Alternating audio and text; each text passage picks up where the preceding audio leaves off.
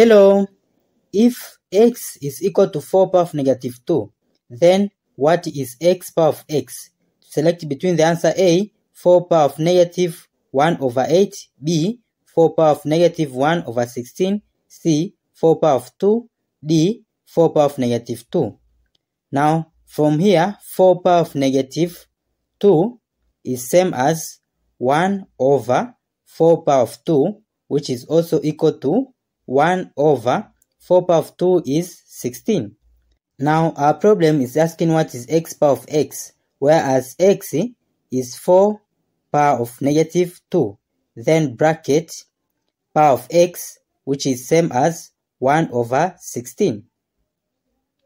Then this is equal to 4 power of negative to simplify by 1 here by 8.